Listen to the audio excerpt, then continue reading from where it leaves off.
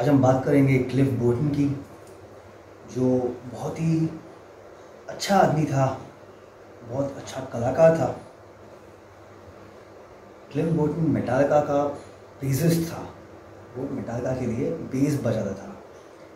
Metallica दुनिया का सबसे बड़ा मेटल बैंड माना जाता है। पहले हम बात करेंगे क्लिफ बोर्डन के बारे में फिर हम उसका चार्ट देखेंगे और फिर मैं आपको बताऊँगा कि क्लिफ बोर्डन के साथ क्या हुआ।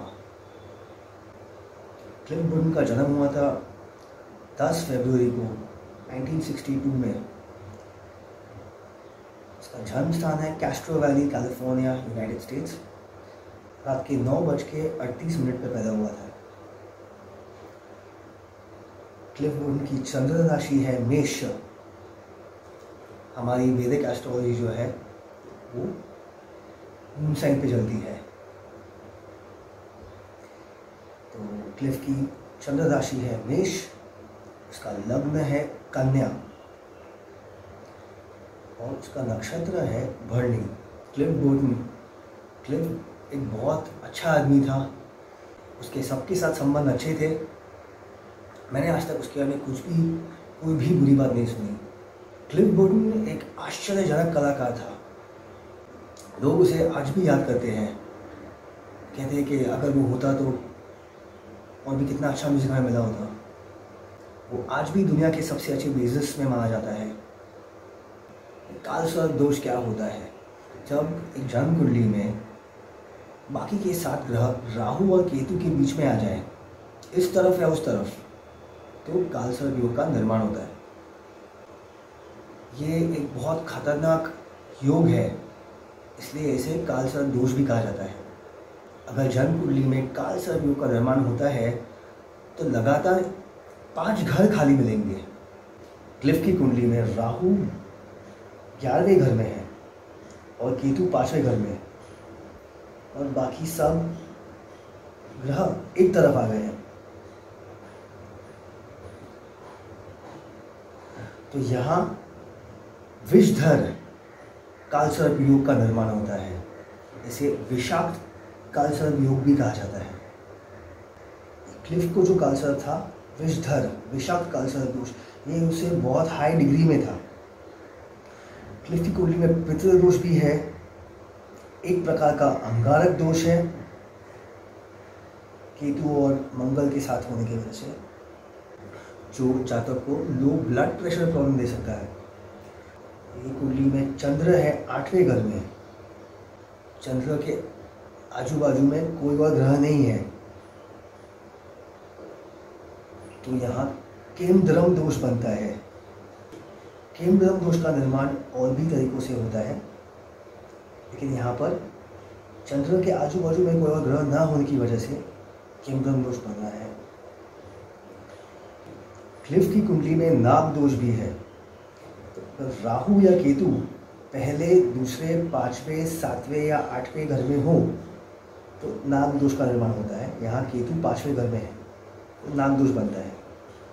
यहाँ पाँचवें घर में छह ग्रह बैठे हैं और पांचवा ग्रह क्रिएटिविटी का होता है। और भी चीज़ों का होता है, लेकिन क्रिएटिविटी का तो होता ही है। और क्लिप बोर्डन तो बहुत ही क्रिएटिव आदमी था। इतना अच्छा म्यूजिशियन तो अब बात करते हैं कि क्लिप बोर्डन के साथ क्या हुआ। क्लिप बोर्डन को था विषाक्त कालसर्प दोष विषधर कालसर्प दोष ऐसे एक और आदमी है जिसे ये कालसर्प दोष है। और उसके ऊपर मैंने वीडियो पहले ही बना दिया था। पहला एपिसोड उसी पर है। उसका लिंक मैं डिस्क्रिप्शन बॉक्स में डाल दूँगा। तो देख लेना वो भी। क्लिफ बोर्डन के साथ क्या हुआ? जब मेटालिका उनके तीसरे एल्बम के बाद स्वीडन की टूर कर रहा था मेटालिका के तीसरे आलू का नाम है मास्टर ऑफ़ पपेट्स और जब ये आलू के रिलीज़ के बाद वो लोग स्वीडन टूर कर रहे थे, तब बस स्किड हो गई। स्किड को हिंदी में क्या कहते हैं, मुझे पता नहीं है। बस स्किड हो गई। और क्लिफ खिड़की से बाहर फेंका गया। बस किड हुई तो वो खिड़की से बाहर गिर गया और बस उस पर गिर गई।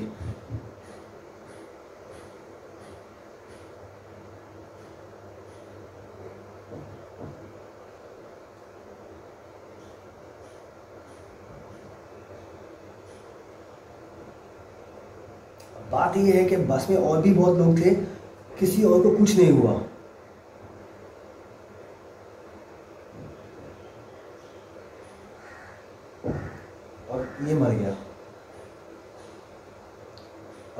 के बाकी जो मेंबर्स हैं, उनकी भी कुंडलियाँ मैंने देखी है। उन, उनमें से किसी को भी कोई ऐसा भारी दोष नहीं है। लेकिन ऐसे था।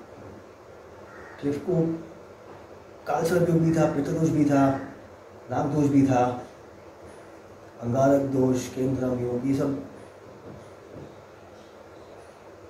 लेकिन जो खतरनाक वाले हैं, इनमें से वो है काल सर्पयोग पितृदोष नाग दोष और इसके साथ ये हुआ। ये तो बहुत अच्छा आदमी था। बहुत अच्छा आदमी था। उसे इतना जल्दी नहीं बनना चाहिए था। ऐसे नहीं बनना चाहिए था। लेकिन उसे ये सब दोस्त थे और उसके साथ ये हुआ। बहुत सारे जोशी ऐसा कहते हैं कि काल सर्प योग जैसा कुछ है ही नहीं, क्योंकि हमारे पुराने शास्त्रों में ऐसा कोई उल्लेख नहीं है, कोई वर्णन नहीं है। लेकिन अगर साइंस और टेक्नोलॉजी एडवांस हो सकते हैं तो एस्ट्रोलॉजी में भी नई डिस्कवरीज की जा सकती है है ना? और बहुत सारे जोशी ये भी कहते हैं कि कालसर्प योग है, लेकिन इससे कोई डरने की ज़रूरत नहीं है, क्योंकि बहुत सारे लोगों को था, इसको भी था, उसको भी था, बहुत सारे बड़े नाम इसको कालसर्प दोष था। लेकिन बड़े नाम एक जगह पे सक्सेसफुल हो गए उनके काम में मतलब ये नहीं कि वो उनका जीवन सुखी था, या उनको और कोई बड़ी तकलीफ़ नहीं आई। और अच्छा और बुरा सबके साथ होता है। तो ज़रूरी नहीं है कि किसी का कुछ हो गया तो उसे कालसर हो या दोष हो, ऐसा ज़रूरी नहीं है।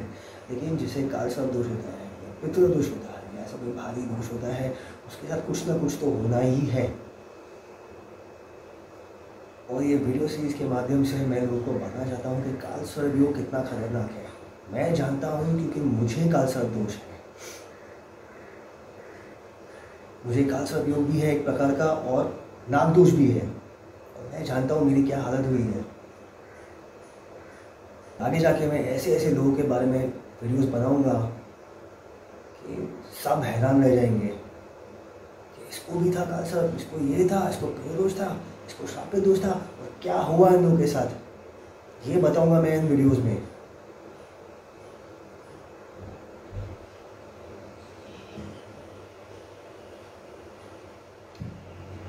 मुझे पता है कि ये बहुत इंटरेस्टिंग विषय है। तो अगले एपिसोड में मिलेंगे